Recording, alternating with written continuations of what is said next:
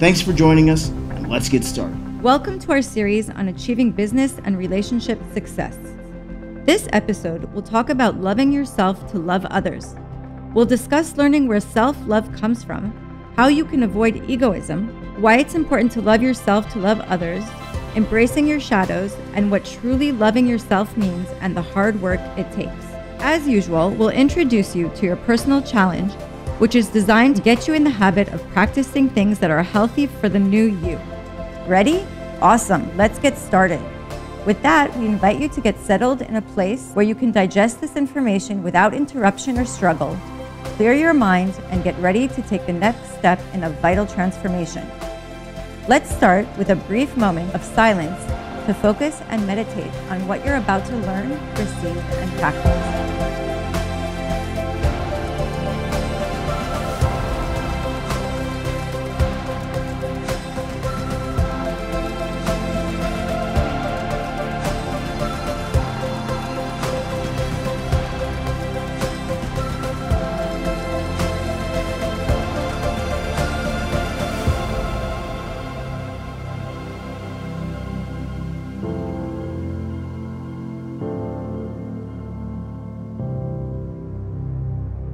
This session, I would like to talk to you about, you know, love yourself, and by that, the ability to love others.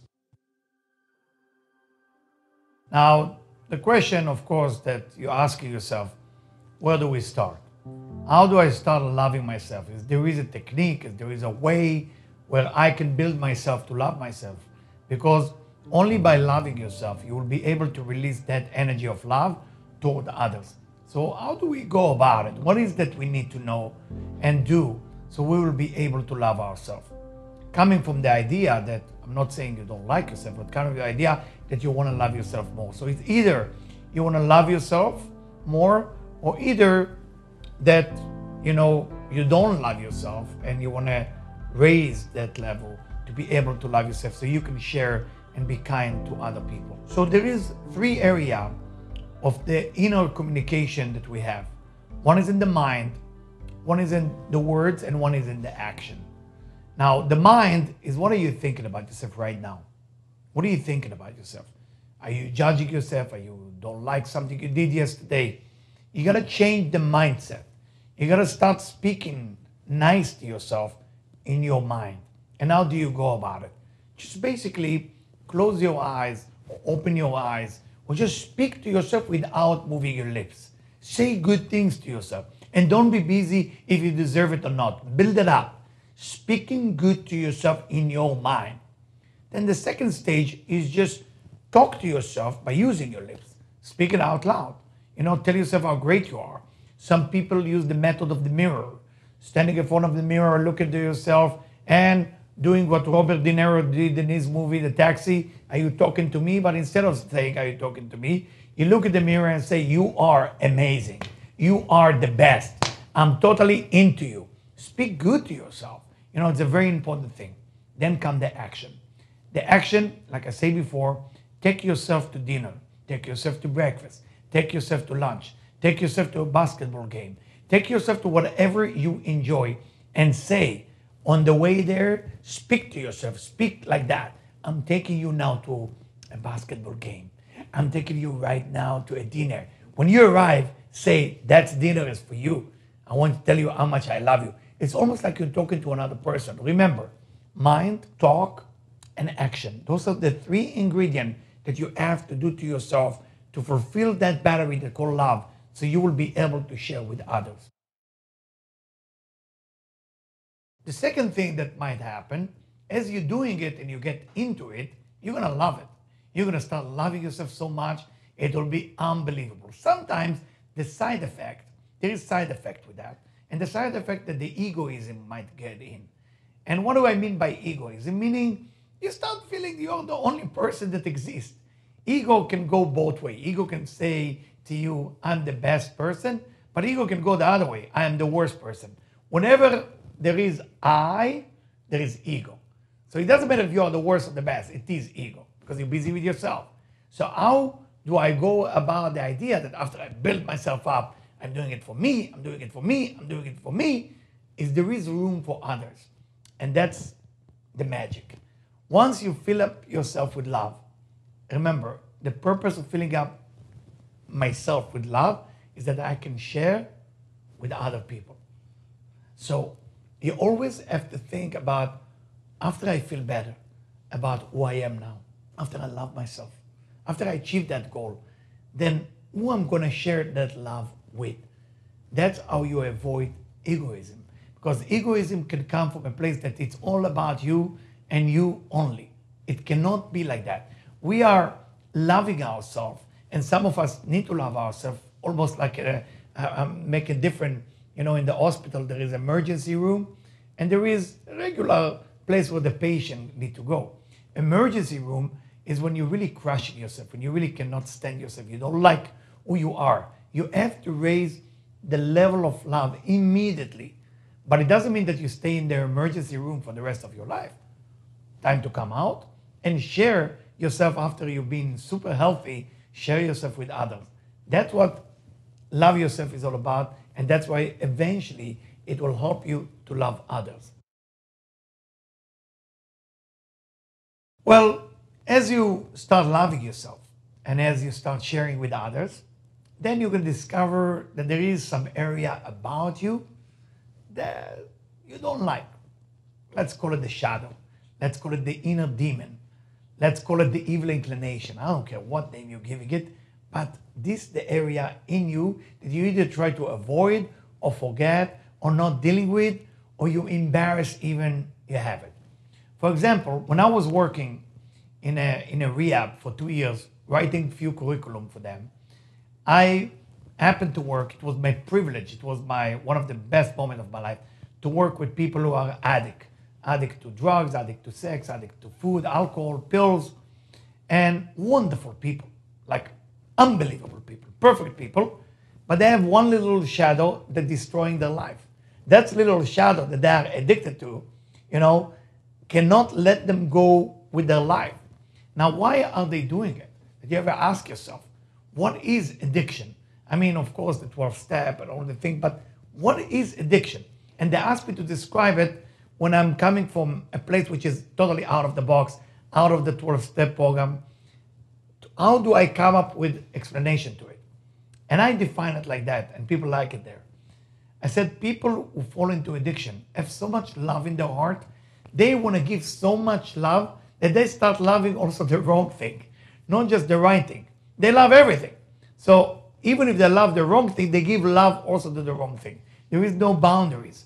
And when you don't have boundaries of what you're loving, then things start to go wrong. That's one kind of shadow. Second type of shadow, it's a self-judgment. When you start judging yourself, when you start looking into yourself and find out what's wrong. A lot of time, when you're working on yourself, when you start developing the level of love, you're going to be 70% okay, and you're going to be 30% not okay. If you're going to focus on the, that 30% not okay, unfortunately, you're going to go into dark, place, dark places that will be very difficult to climb out of it. Because that 30% of dark places, you're going to get stuck. You're going to focus on the 70% of your goodness, and then slowly, slowly, the 30% will disappear. You can fight darkness, but you can turn on the light, and then darkness will go away. Shadow, if I'm look at my hand, I'm going to do magic now, right? Inside my hand, I can see it. There's a shadow right now. Look what happened. Gone. Am I a magician? The shadow is gone. Where is it? Gone. Not here. What did I do? Did I fight it? Did I talk to it? No. I just bring more light. So when you find a way to bring more light into your life, which is love, through words, through thought, through through action, you will understand that that negativity that you have internally, it's there to make you grow to the next level, that you're going to love yourself with your fault. And by loving yourself with your fault, eventually that fault will go away.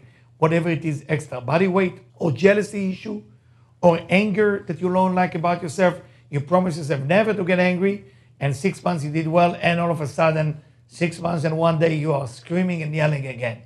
You have to change it. But it doesn't mean to hate yourself because you have anger issue. Fix the anger, but don't hate yourself because of that. The anger is just like try to imagine I propose to someone and I have a ring in my hand, that ring fall into the mud. Does that mean that ring is bad? I gotta clean it and it's the same ring.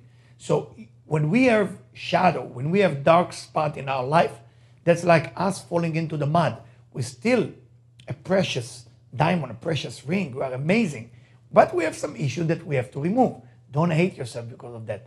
Love yourself with your fault, with your shadow, and step by step change it if you wish to do so. Love yourself mean that you are happy to be in this body, with this kind of mind, with this kind of thought, with this kind of life that you want to have for yourself. And if you're not happy with that, don't hate yourself for that. Just change whatever need to be changing. So you can't come to a place when you don't like the person that you are. If there is area in your life that needs changing, let's work on some changing. Let's do something about it. But don't hate who you are. And it's very, very simple. What is it hard for a person to love themselves? Because we have tried to imagine there is two angels talking to you. One on your right shoulder, one on the left. The one on the right shoulder is telling you how great you are, how unbelievable you are. The one on the left shoulder is telling you what's wrong with you. Unfortunately, there is a little problem. The one who speaks positive to you is whispering. The one who tell you what's wrong with you is screaming. And you need to overcome that screaming voice because the one on the right shoulder is telling you how great you are, telling you in that voice, you are amazing. You're so special. The one on the left shoulder is screaming, You're the worst. I can't believe you gained 25 pounds. What are you going to do about it? That voice is screaming. What are you going to do? Avoiding it, it will keep screaming until you deal with it. So you got to understand that you have to overcome it. You have to talk to it. That voice is not going anywhere. You have to tell that voice, hey, listen, I know I gained 25 pounds, but I'm still the best person that I was before. I'm going to take care of that 25 pounds, but that does make me a bad person. That doesn't make me a terrible person. I have issues that I have to work on. So I'm embracing those things, those voices that come to me so I can overcome it. And by overcoming those things, I'm start loving myself until I even convert the angel on my left side to love me as well. And this week, the way I'm going to challenge you will be something incredible that you're going to do toward yourself. If there is part about yourself that you don't like, there is a secret way how to love yourself unconditionally. I want you to find the person in your life that bother you.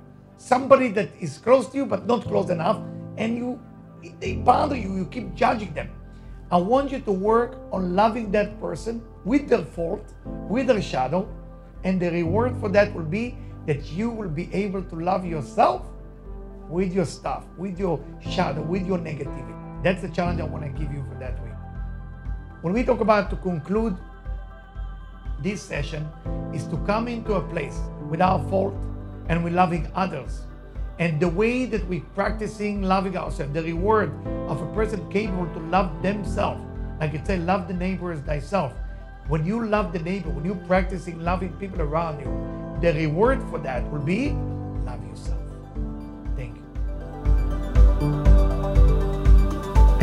This has been another episode of Vital Transformations Guided Sessions. For more information, visit us at vitaltransformation.org, where you'll find access to all of our guided sessions, content library, weekly updates, and upcoming events. To keep content like this new, relevant, and free to the public, make a donation today at vitaltransformation.org slash donate or write to us at donate at vitaltransformation.org. Thanks for joining us, and we'll speak to you soon.